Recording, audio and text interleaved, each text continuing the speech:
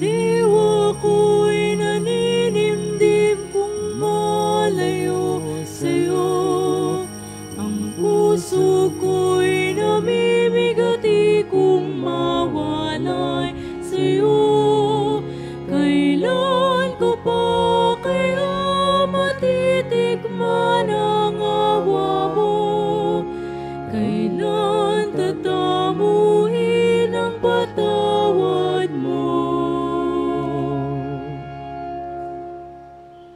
Magandang hapon po sa inyong lahat. Magandang hapon po, Padre. Sama po natin sa banal na pagdiriwang na ito ang ating mga kahilingan sa ating Panginoong Diyos.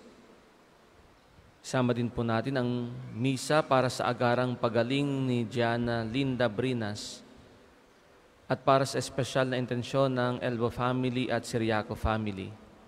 At ganun din alalahanin din po natin sa banal na pagdiriwang na ito ang ating mga mahal sa buhay na nauna na sa atin at ang lahat ng kaluluwa sa purgatorio. Sa ngalan ng Ama at ng Anak at ng Espiritu Santo. Amen. Amen. Ang pagpapala ng ating Panginoong Heso Kristo, ang pag-ibig ng Diyos Ama, at ang pakikipagkaisa ng Espiritu Santo naway sumainyong lahat. At sumainyo rin. Mga kapatid, aminin natin ang ating mga kasalanan upang tayo maging marapat gumanap sa banal na pagdiriwang. Inaamin ko Sa makapangyarihang Diyos at sa inyo, mga kapatid, na lubha akong nagkasala sa isip, sa salita at sa gawa, at sa aking pagkukulang. Kaya isinasamo ko sa mahal na Birheng Maria, sa lahat ng mga anghel at mga banal, at sa inyo mga kapatid, na ako'y panalangin sa Panginoong ating Diyos. Kawaan tayo ng makapangyarihang Diyos, patawarin tayo sa ating mga kasalanan at patnubayan tayo sa buhay na walang hanggan. Amen.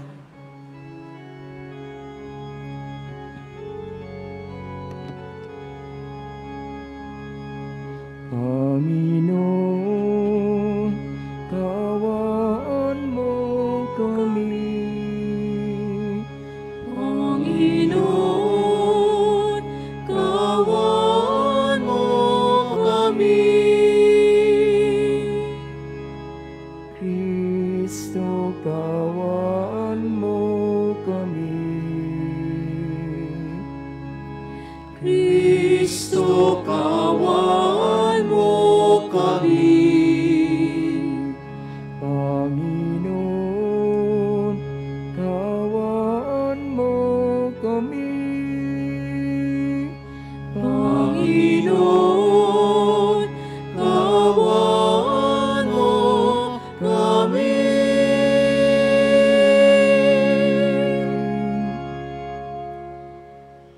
Manalangin tayo.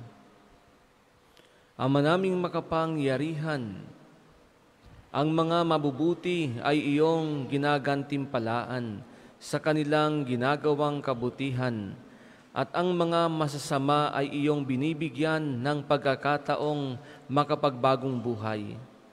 Kaawaan mo kaming sumasamo sa iyo upang ang pag-amin namin sa nagawang kasalanan ay magkamit para sa amin ng iyong kapatawaran. Sa pamamagitan ni Heso Kristo kasama ng Espiritu Santo magpasawalang hanggan. Amen.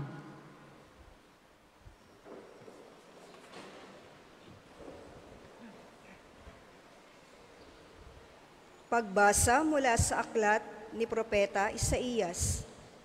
Sabi ng Panginoon sa kanyang bayan, Sa araw ng pagliligtas sa iyo, ay lilingapin kita at tutugunin ang paghingi mo ng saklolo. Babantayan kita at iingatan. Sa pamamagitan mo'y gagawa ako ng tipan sa mga tao. Ibabalik kita sa sariling lupain na ngayon ay walang kaayusan. Palalayain ko ang nasa bilangguan at bibigyan ng liwanag ang nasa kadiliman. Sila'y matutulad sa mga tupang nanginginain sa magandang pastulan. Hindi sila magugutom ni mauuhaw. Hindi rin daranas na matinding init ng sikat ng araw at sa disyerto sapagkat papatnubayan sila noong isa na nagmamahal sa kanila. Sila'y ihahatid niya sa bukal ng tubig. Gagawa ako ng lansangan sa gitna ng mga bundok at ako'y maghahanda ng daan para siyang daanan ng aking bayan. Darating ang bayan ko buhat sa malayo, mula sa hilaga at sa kanluran, gayon din sa Sibene sa timog. Kalangitan, umawit ka. Lupa, ikaw ay magalak, gayon din ang mga bundok, pagkat inaaliw ng Panginoon ang kanyang hinirang sa gitna ng hirap ay kinahahabagan.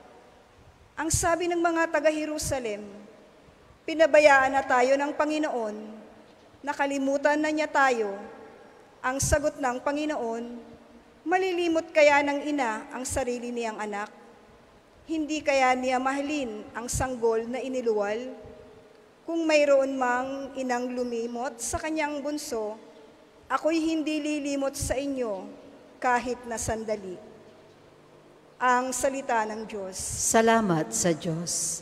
Antugon po sa Salmo, pag-ibig ng Diyos ay ganap, sa tanan siya'y nahahabag.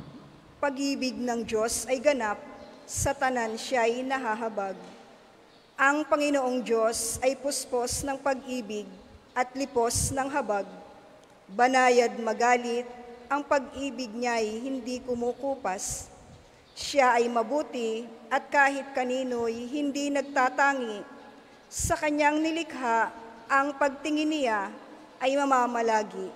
Pag-ibig ng Diyos ay ganap, sa tanan siya'y nahahabag. Di ka bibiguin sa mga pangako pagkat ang Diyos ay tapat. Ang kanyang ginawa kahit na ano ito ay mabuting lahat. Siya'y tumutulong sa lahat ng tao na may suliranin. Yaong inaapi, inaalis niya sa pagkagupiling. Pag-ibig ng Diyos ay ganap, sa tanan siya'y nahahabag. Matuwid ang Diyos sa lahat ng bagay niyang ginagawa. Kahit anong gawin ay kalakip doon ang habag at awa. Siya'y nakikinig at handang tumulong sa lahat ng tao. Sa sinumang taong pagtawag sa Kanya'y tapat at totoo. Pag-ibig ng Diyos ay ganap, sa tanan siya'y nahahabag. Magsitayo po ang lahat.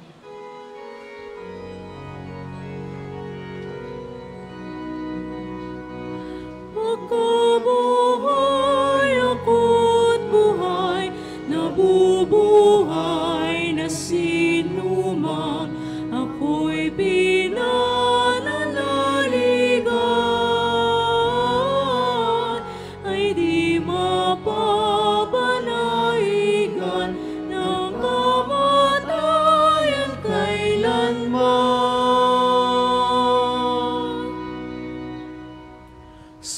Sumainyo ang Panginoon. At sumayin rin, Ang mabuting balita ng Panginoon ayon kay San Juan. papuri sa iyo, Panginoon. Noong panahong iyon, sinabi ni Jesus sa mga Hudiyo, Ang aking amay patuloy sa paggawa at gayon din ako. Lalong pinagsikapan ng mga Hudiyo na patayin siya sapagkat nilabag na niya ang batas tungkol sa araw ng pamamahinga ay sinabi pa niyang ang Diyos ang kanyang Ama at sa gayoy ipinapantay ang sarili sa Diyos. Kaya't sinabi sa kanila ni Jesus, Dapat ninyong malaman na walang ginagawa ang anak sa kanyang sarili lamang. Ang ginagawa lamang niya ay ang nakikita niyang ginagawa ng Ama. Ang ginagawa ng Ama ay siya rin ginagawa ng anak, sapagkat minamahal ng Ama ang anak at ipinakikita sa anak ang lahat ng ginagawa niya. At higit pa sa mga ito ang mga gawang ipakikita sa kanya ng Ama at manggigilalas kayo. Kung paanong binubuhay ng Ama ang mga patay, gayon din naman, bubuhayin ng anak ang sinumang nais niyang buhayin. Hindi humahatol kanino man ang Ama. Ibinigay niya sa anak ang buong kapangyarihang humatol upang parangalan ng lahat ang anak, tulad ng kanilang pagpaparangal sa Ama. Ang hindi nagpaparangal sa anak ay hindi nagpaparangal sa amang nagsugo sa anak. Sinasabi ko sa inyo, ang nakikinig sa aking salita at nananalig sa nagsugo sa akin ay may buhay na walang hanggan. Hindi na siya hahatulan kundi inilipat na sa buhay mula sa kamatayan. Tandaan ninyo, darating ang panahon, ngayon na nga, na maririnig ng mga patay ang tinig ng Diyos at ang makinig sa Kanya ay mabubuhay. Ang Ama ang may kapangyarihang magbigay buhay at ang anak naman ay binigyan niya ng kapangyarihang maging magbigay buhay. Bi- Binigyan din siya ng kapangyarihang humatol sapagkat siya ang anak ng tao. Huwag ninyo itong pagtakhan sapagkat darating ang oras na maririnig ng mga patay ang kanyang tinig. Sila'y muling mabubuhay at lalabas sa kinalilibingan nila. Lahat ng gumagawa ng mabuti ay pagkakalooban ng buhay na walang hanggan at lahat ng masama ay parurusahan. Wala akong ginagawa sa sarili ko lamang. Humahatol ako ayon sa sinasabi sa akin ng Ama. Kaya't matuwid ang hatol ko. Hindi ang sarili kong kalooban ang aking sinusunod, kundi ang kalooban na nagsugo sa akin. Ang mabuting balita ng Panginoon. Pinupuri ka namin, Panginoong Heso Kristo. Muli po magandang hapon sa inyong lahat. Mga minamahal, ngayon ay Merkules sa ikaapat na linggo ng apat na pong araw na paghahanda natin sa muling pagkabuhay ni Jesus.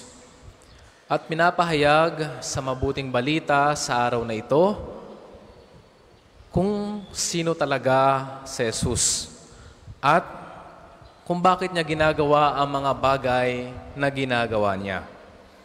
Kahapon po kung kayo ay nakapagsimba, sinabi sa mabuting balita na doon si Jesus ay nagpagaling ng may sakit sa araw po ng pamamahinga.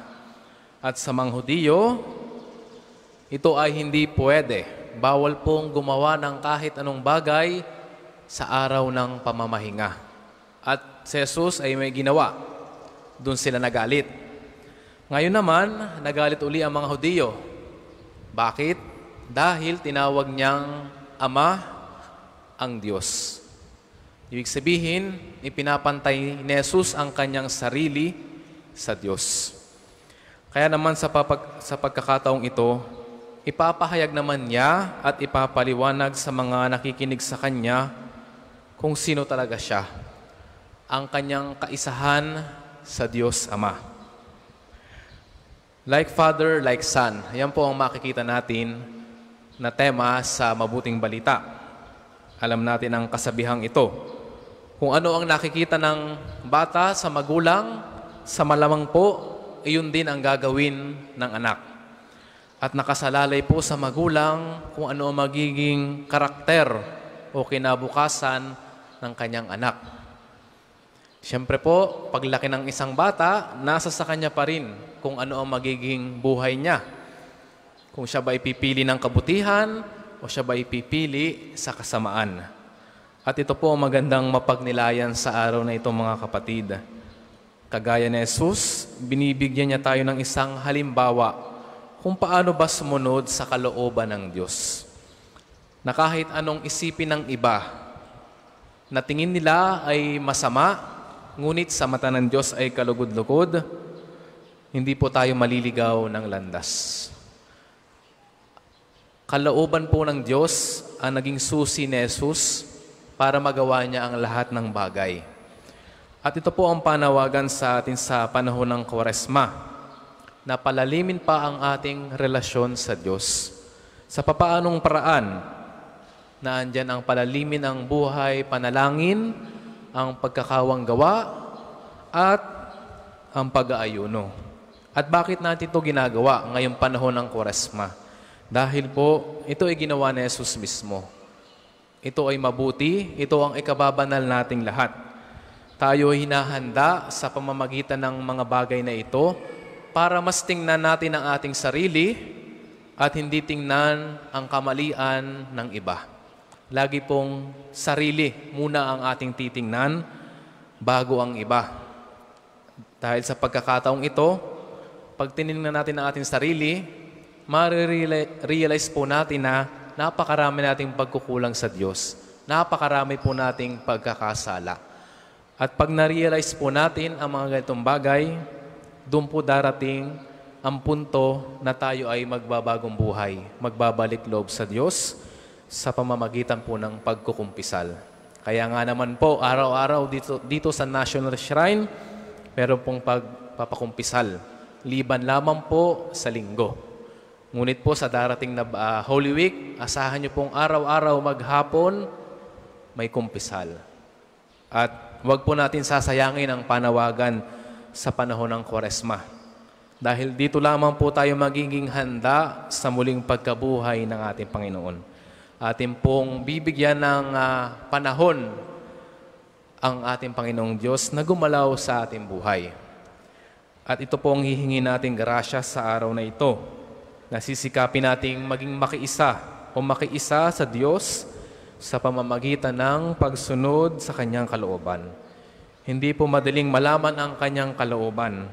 Ngunit, alam nating hindi niya tayo pababayaan dahil ibibigay niya ang mga grasyang nararapat sa atin para masunod ang Kanyang kalooban para sa ating sariling ikababanal. Amen. Para sa maghahandog ng sobre, pakihulog na lamang po sa buslo.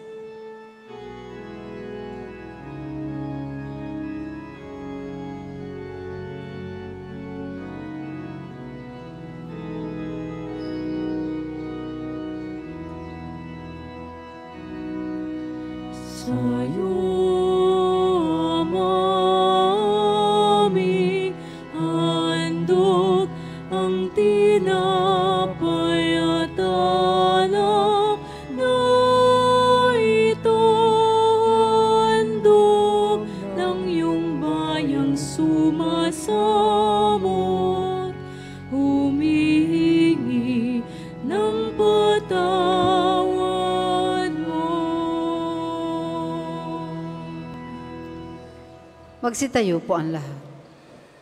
Manalangin kayo mga kapatid upang ating paghahain ay kalugdan ng Diyos amang makapangyarihan. Tanggapin nawa ng Panginoon itong paghahain sa mga kamay, sa kapurihan niya at karangalan sa ating kapakinabangan at sa buong sambayanan niyang banal. Ama naming lumikha ang paghahain ito naway maganap sa ikapagpapatawad ng mga kasalanan at sa ipagka, pagkaka, pagkakamit namin ng bagong buhay at kaligtasan sa pamamagitan ni Heso Kristo kasama ng Espiritu Santo magpasawalang hanggan. Amen. Sumainyo ang Panginoon. At sumainyo rin. Itaas sa Diyos ang inyong puso at diwa. Tinaas na namin sa Panginoon. Pasalamatan natin ang Panginoong ating Diyos. Marapat na siya'y pasalamatan. Ang manaming makapangyarihan, tunay ngang marapat na ikaw ay aming pasalamatan sa pamamagitan ni Heso Kristo na aming Panginoon. Sa aming kusang pagtitiis ng hirap, tinutulungan mong aming maitumpak ang kinamihas ng pagsalungat sa pananagutang iyong iniatas. Sa aming pagtulad sa anak mong mahal na nagpakasakit para sa tanan, ang pagsisikap nami iyong kinalulugdan at ang pagpapakabuti nami iyong ikinararangal. Kaya kaisa ng mga anghel na nagsisiawit ang papuri sa iyo ng walang humpay sa kalangitan, kami nagbubunyi sa iyong kadakilaan.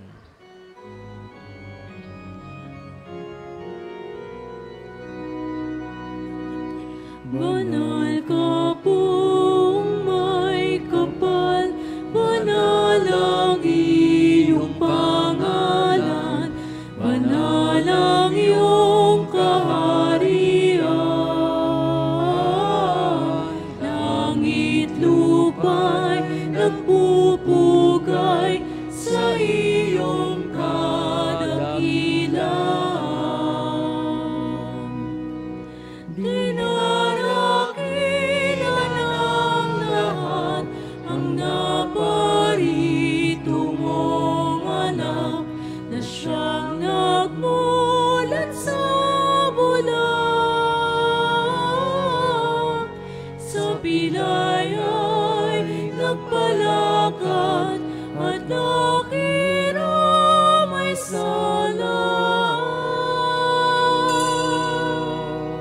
Kung hindi kayang lumuhod, manatili pong nakatayo na may pagalang. Ama naming banal, ikaw ang bukal ng tanang kabanalan, kaya't sa pamamagitan ng iyong Espiritu gawin mong banal ang mga kaloob na ito, upang para sa amin maging katawan at dugo ng aming Panginoong Heso Kristo. Bago niya pinagtiis ang kusang loob na maging handog, hinawakan niya ang tinapay, pinasalamatan kanya, pinaghati-hati niya iyon, iniabot sa kanyang mga alagad at sinabi, Tanggapin niyong lahat ito at kanin. Ito ang aking katawan na ihahandog para sa inyo.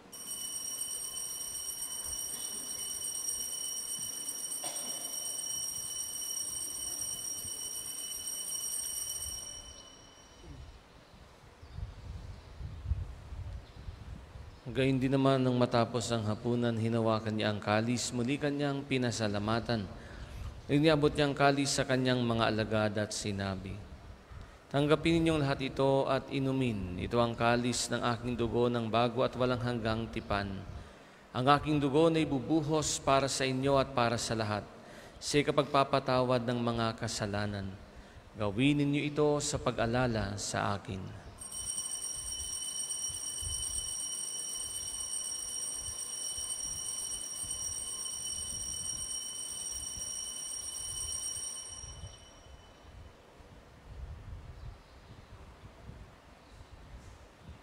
Ipagmuni natin ang misteryo ng pananampalataya. Si Kristo'y namatay, si Kristo'y nabuhay, si Kristo'y babalik sa wakas ng panahon. Ama, ginagawa namin ngayon ang pag-alala sa pagkamatay at muling pagkabuhay ng iyong anak, kaya't iniaalay namin sa iyo ang tinapay na nagbibigay buhay at ang kalis na nagkakaloob ng kaligtasan. Kami nagpapasalamat dahil kami iyong minarapat na tumayo sa harap mo para maglingkod sa iyo. Isinasamo namin kaming magsasalo-salo sa katawan at dugo ni Kristo ay mabuklod sa pagkakaisa sa pamamagitan ng Espiritu Santo. Ama, Lingapin mo ang iyong simbahang laganap sa buong daigdig. Puspusin mo kami sa pag-ibig kay San Francisco na aming Papa at Gilbert naming Obispo at ang Tanang Kaparian. Alalahanin mo rin ang mga kapatid naming nahimlay na may pag-asang sila'y muling mabubuhay. Ngayon din ang lahat ng mga pumanaw. Kawan mo sila at patuloyin sa iyong kaliwanagan. Kawan mo at pagindapatin kaming lahat na makasalo sa iyong buhay na walang makas. Kaysa ng mahal na Birheng Maria na ina ng Diyos. Ni San Jose na kanyang kalinis-linisang esposo kaysa ng mga apostol at ang lahat ng mga banal na namuhay dito sa daigdig ng kalugod-lugod sa iyo, may pagdiwang nawa namin ng pagpupuri sa ikararangal mo sa pamamagitan ng iyong anak na aming Panginoong Heso Kristo. Sa pamamagitan ni Kristo, kasama niya at sa Kanya, ang lahat ng parangal at papuri ay sa iyo, Diyos, amang makapangyarihan, kasama ng Espiritu Santo, magpasawalang hanggan.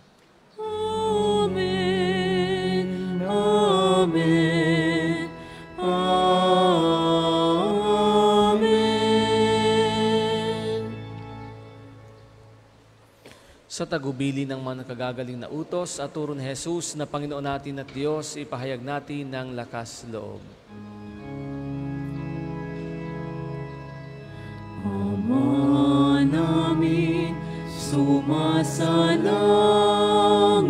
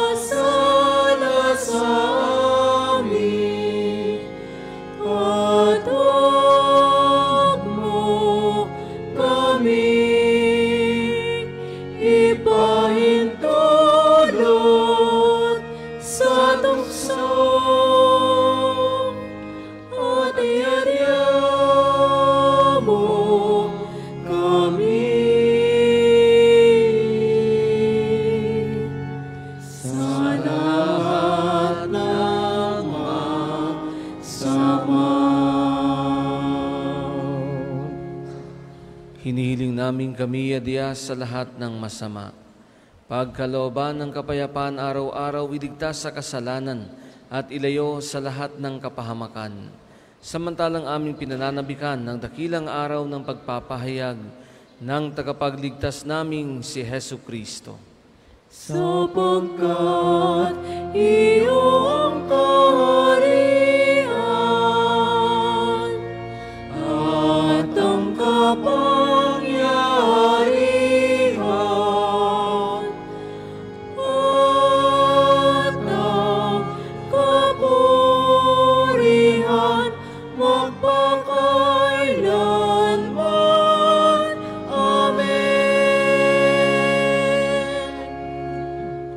Panginoong Heso Kristo, sinabi mo sa iyong mga apostol, kapayapaan ang iniiwan ko sa inyo, ang aking kapayapaan ang ibinibigay ko sa inyo. Tunghayan mo ang aming pananampalataya at wag ang aming mga pagkakasala. Pagkalooban mo kami ng kapayapaan at pagkakaisa ayon sa iyong kalooban. Kasama ng Espiritu Santo, magpasawalang hanggan. Amen. Ang kapayapaan ng Panginoon ay laging sumainyo. At sumayin niyo rin. Magbigayan kayo ng kapayapaan sa isa't isa. Peace be with you. Peace, peace, peace. Kordero ng Diyos, nag-aalis ng mga kasalanan ng sanlibutan, maawa ka sa amin. Kordero ng Diyos, nag-aalis ng mga kasalanan ng sanlibutan, maawa ka sa amin. Kordero ng Diyos, nag-aalis ng mga kasalanan ng sanlibutan, ipagkalob mo sa amin ang kapayapaan. Kung hindi kayang lumuhod, manatili pong nakatayo na may pagalang.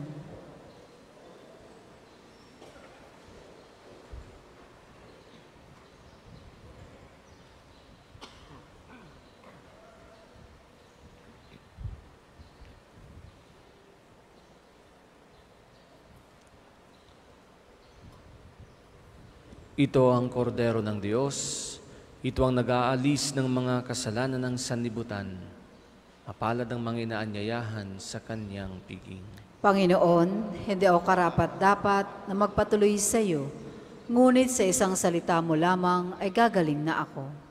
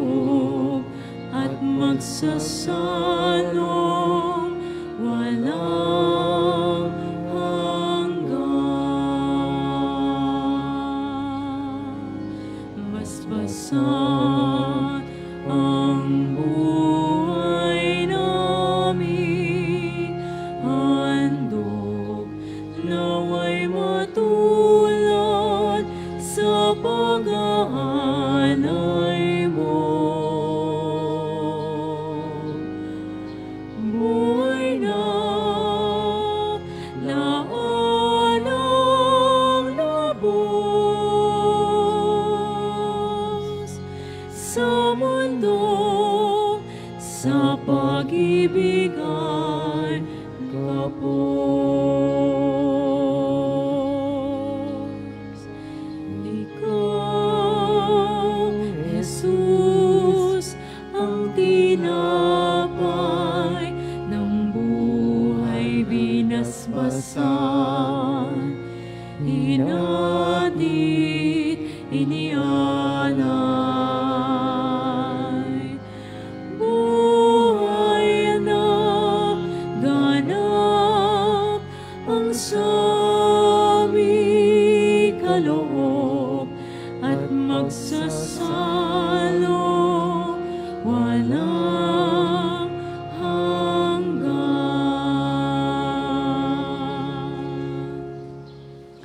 isasagawang second collection ay ginagamit sa patuloy na pagpapaunlad ng parokya at pambansang dambana ni Santo Padre Pio. Salamat po sa inyong handog. Ikaw, Jesus,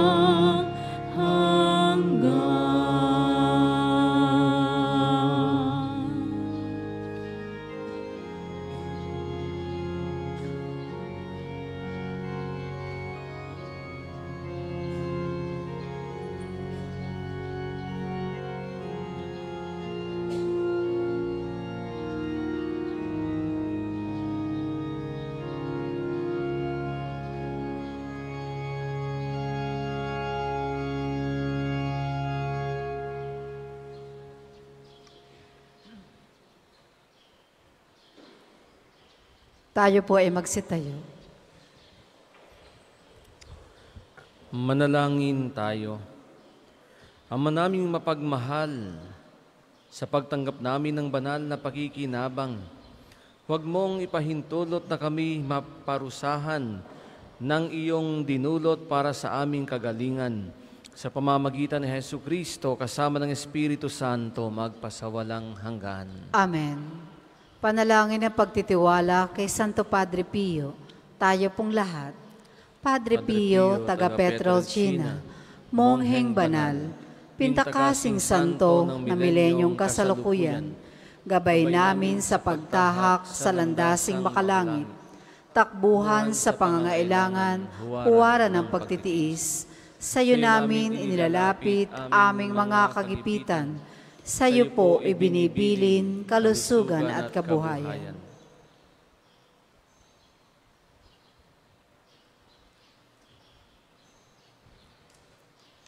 Di man karapat-dapat, kami po ay pagbigyan, bendisyonan at basbasan, maging ganap sa buhay.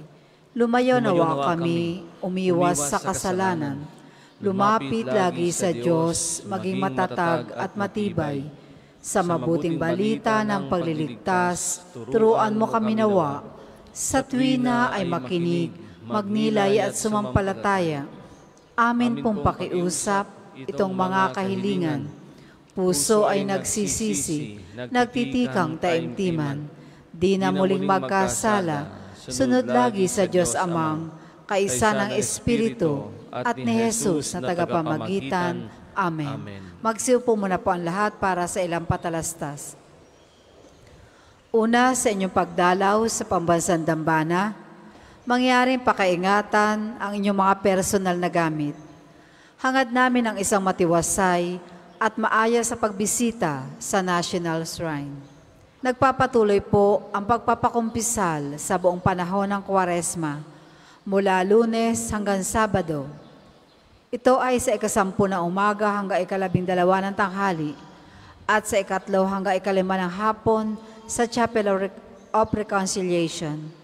Wala pong nagpapakumpisal ng Sabado ng hapon at sa araw ng linggo.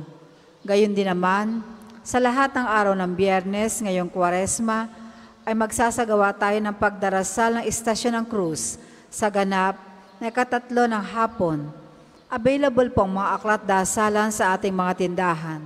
Kayo pong lahat ay naanyayahang makiisa. Ikalima, bukas po araw ng Webes ay kadalawamput-tatlo ng buwan. Ang araw ng pagpapagaling ng Panginoon sa pamamagitan ni Santo Padre Pio. Ang mga oras ng healing mass at healing liturgy na may pagagawad ng langis ay sa ganap na ikasyam na umaga at ikalima ng hapon, kayo po at ang inyong mga may sakit ay inaanyayahan. Ikaanim, mga kapiyo, bahagi ng pagdiriwang ng kaarawan ni Padre Pio ngayong ikadalawamput lima ng Mayo. Tayo ay magkakaroon ng karapol dito sa Pambansang Dambana. Ito ay fundraising program upang matulungan ang ating mga scholar ni Pio. Maari kayo makabili ng tickets sa pamisahan, sa HR office o sa mga nakaistasyon sa paligid ng simbahan sa halagang 500 pesos only. Panoorin po natin ito. Misa ay sa ganap na ikalima ng hapon. Maraming salamat po at mangyaring panatilihin natin ang kalinisan, katahimikan at diwa ng pananalangin sa loob at labas ng ating simbahan. Magsitayo po ang lahat para sa pagbabasbas ng religious articles. Mga kapatid, manalangin tayo sa Diyos amang makapangyarihan upang tayo ay maging kawangis ni Kristo sa taimtim na pagdalangin sa tulong ng mga larawan at dasalan. O Panginoong Diyos, Ikaw ang bukal ng lahat ng pagpapala at biyaya. Ibuhos mo ang iyong bendisyon sa mga gamit na ito sa pananalangin, mga rosaryo, imahen, dasalan na nagpapaalala ng iyong kabutihan, kabanalan at pagmamahal sa amin upang ang lahat na dumulog at magdasal gamit ang mga ito ay magtamo ng iyong awa at biyaya. Loobin mong tularan nila ang kabanalan at aral ng Panginoon at ng mga santo magpasawalang hanggan. Amen. Ama namin, sumasalangit ka. Sambahin ang ngalan mo. Mapasa amin ang kaharian mo. Sundin ang loob mo dito sa lupa para nang sa langit. Bigyan mo kami ngayon ng aming kakanin sa araw-araw at patawarin mo kami sa aming mga sala para ng pagpapatawad namin sa nagkakasala sa amin. At huwag mo kaming ipahintulot sa tukso at iadya mo kami sa lahat ng masama. Aba, Ginoong Maria, napupuno ka ng grasya, ang Panginoon Diyos ay sumasa iyo. Bukod kang pinagpala sa babaeng lahat, at pinagpala naman ang iyong anak na si Jesus. Santa Maria, Ina ng Diyos, panalangin mo kaming makasalanan, ngayon at kung kami mamamatay. Amen. Papuri sa Ama, sa Anak at sa Espiritu Santo, kapara noong una, ngayon at magpasawalang hanggan. Amen. Papuri sa Ama, sa Anak at sa Espiritu Santo, kapara noong una, ngayon at magpasawalang hanggan. Amen.